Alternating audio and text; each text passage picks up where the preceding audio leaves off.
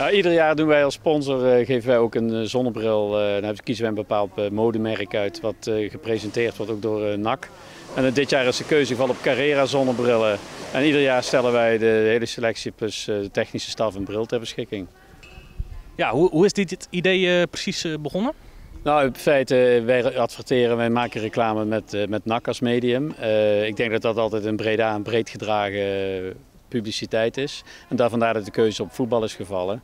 Hier zit altijd iedere week ook 19.000 mensen, of om de week. Nou, je kunt niet, nergens in Breda is zo'n grote aanhang als hier.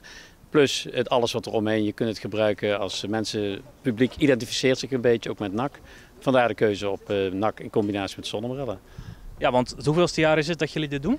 Um, ik denk inmiddels het zesde of zevende jaar. Ja, ja. En heb je nog een bepaald merk wat uh, bij de jongens uh, met name in de smaak valt? We proberen eigenlijk altijd de, de meest uh, trendy merken te pakken. We hebben het vorige jaar Tom Ford, dan hebben we Ray-Ban, dan hebben we een keer Oakley gehad. En nu is Carrera, dat is helemaal in. En dus vandaar de keuze op Carrera.